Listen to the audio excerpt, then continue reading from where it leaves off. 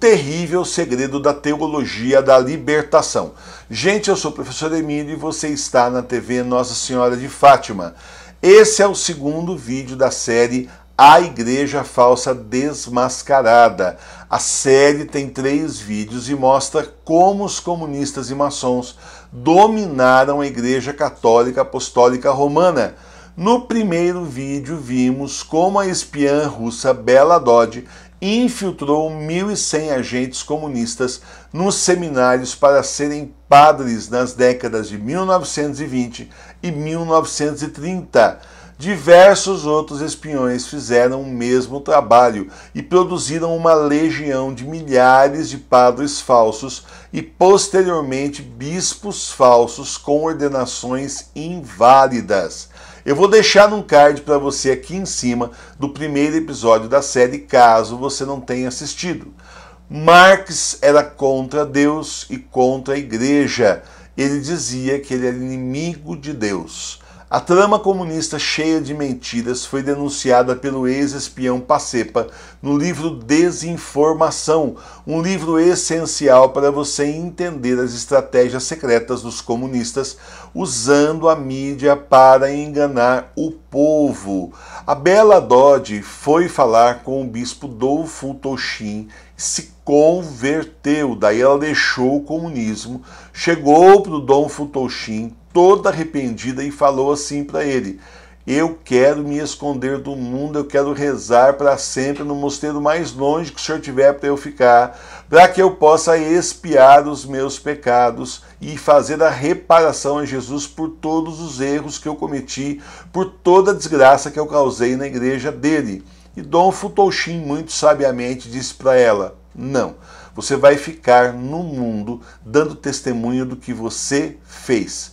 Então ela escreveu um livro chamado Escola das Trevas, e esse livro que conta detalhadamente como que ela fez todo esse trabalho sujo para a KGB está na livraria do professor Emílio também. Os dois livros estão com desconto na livraria do professor Emílio. Aproveite e entre aqui nos links que estão embaixo na descrição do vídeo. São livros para você entender como é que a nossa igreja foi invadida e como é que nós chegamos no ponto que nós estamos ladeira abaixo e cada vez é pior. O livro Desinformação, inclusive, conta a história detalhada de como é que a teologia da libertação foi criada pela União Soviética nos porões da KGB para destruir a igreja. O livro traz muitas, muitas, muitas informações. Eu vou resumir para você nesse vídeo, o segundo vídeo da série A Igreja Falsa Desmascarada. Conheça o terrível segredo da teologia da libertação o terrível segredo da teologia da libertação. Um segredo que não querem que você saiba, que escondem de você, camuflam e para você não saber, justamente porque acaba com ela. Antes disso, antes da gente ver esse segredo, vamos ver o que o Papa Bento XVI disse a respeito da teologia da libertação, que tira todas as dúvidas de todos os católicos que ainda ficam aí em dúvidas sobre ela. Vamos lá. A teologia da libertação é a maior heresia de todos os tempos é uma nova versão do cristianismo e do marxismo. Então, a teologia da libertação é o comunismo infiltrado dentro da igreja. Teoricamente, eles tentam misturar o comunismo com o catolicismo, só que isso não é possível. Então, o que eles fazem? Eles alteram o catolicismo. Assim, eles criaram uma igreja falsa dentro da nossa igreja verdadeira. Você olha e parece que são católicos, padres, bispos, parlamentados, tudo bonitinho, usando os mesmos objetos litúrgicos, mas na verdade é uma igreja falsa que fala outra coisa completamente diferente e herética em relação ao que a nossa igreja sempre ensinou durante dois mil anos. Essa igreja comunista é filha de Marx. Marx é considerado o pai do comunismo. Ele era satanista e inimigo declarado de Deus. Assim, o comunismo é contra Deus desde o princípio. Já vimos que a teologia da libertação é o comunismo infiltrado dentro da igreja, destruindo a igreja de dentro. Agora vem o terrível segredo da teologia da libertação. Como é que tudo isso começou? Quem vai nos contar é o ex-espião russo Mihal Pacepa, que desertou da KGB, veio para o Ocidente e começou a dar com a língua nos dentes e contar o que essa gente estava fazendo contra a igreja. Veja aí. Ion Mihal Pacepa foi general da polícia secreta da Romênia comunista antes de fugir para os Estados Unidos no fim da década de 70. Pacepa revelou a conexão entre a União Soviética e a teologia da libertação na América Latina. O que você vai ver agora é o maior escândalo da Igreja Católica nos últimos dois mil anos. O ex-espião soviético conta a história sombria da teologia da libertação. Década de 50. O mundo está dividido em dois blocos.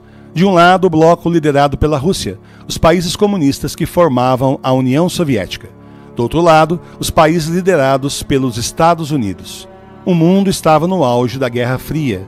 Nikita Khrushchev, secretário-geral do Partido Comunista na Rússia, queria exportar o comunismo para a América Central e a América do Sul, e assim entrar para a história. Então ele chamou a KGB, o serviço secreto russo, para criar a teologia da libertação. O objetivo era se infiltrar dentro da Igreja Católica e usar a sua estrutura para espalhar o comunismo nos países da América Latina. A Igreja Católica combate o comunismo desde o século XIX, desde o seu início. Vários papas se declararam contra o comunismo. Se você pesquisar, você não vai ver um documento oficial apoiando o comunismo. Então, a igreja tinha uma estrutura, ela tem essa estrutura de paróquias, né? ela tem as comunidades rurais, comunidades é, de, de bairro, e o comunismo queria se infiltrar e levar a ideologia deles, o comunismo, para todos esses lugares através dos padres e dos bispos. Mas elas são incompatíveis. Como é que vai juntar isso? Aí surge a teologia da libertação. A KGB sabia que não poderia mudar a religião católica de uma hora para outra, abruptamente. Então, o que eles fizeram? Eles modificaram o sentido das palavras e conceitos para criar uma nova religião dentro da igreja. Isso foi disfarçado de preocupações sociais para não causar suspeita. Foram modificando a interpretação até mesmo do evangelho para construir uma igreja falsa, a igreja comunista.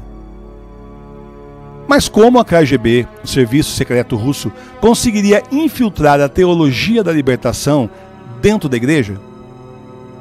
A KGB atraiu um grupo de bispos sul-americanos de esquerda dentro da Conferência de Bispos Latino-Americanos em Medellín, na Colômbia.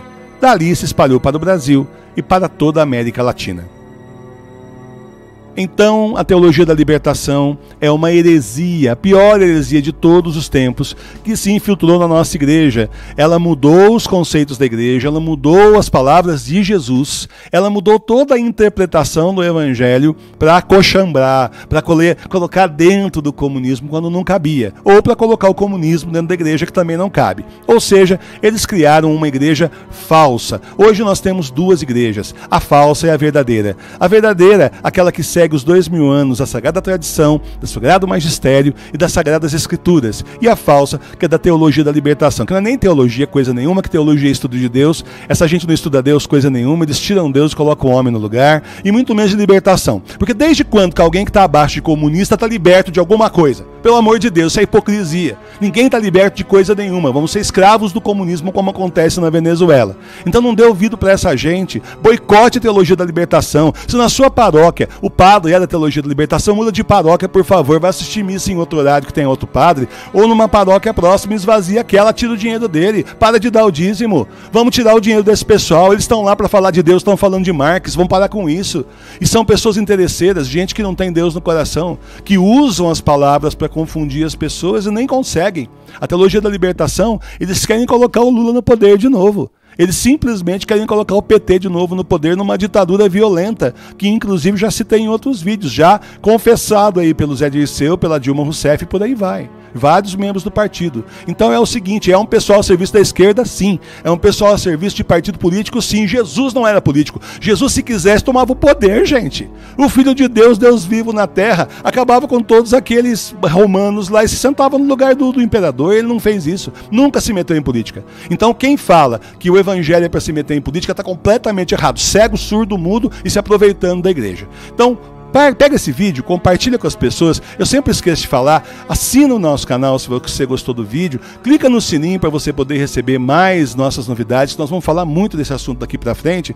E simplesmente compartilhe com seus colegas, com seus amigos, para que eles entendam o que é a teologia da libertação. Isso aqui é só o começo. Tem muito mais coisa para ser falada por aí. Mas já dá uma base para você. Um negócio que nasceu dentro da KGB, do Serviço Secreto Russo, para invadir o Ocidente, destruir o Ocidente, poxa, é coisa do demônio mesmo. É um negócio terrível. Não deixe que eles destruam a nossa igreja. Vamos colocar essa gente para fora. Boicota os padres da teologia da libertação. Não dá mais nem um centavo para eles e muda de paróquia se você puder.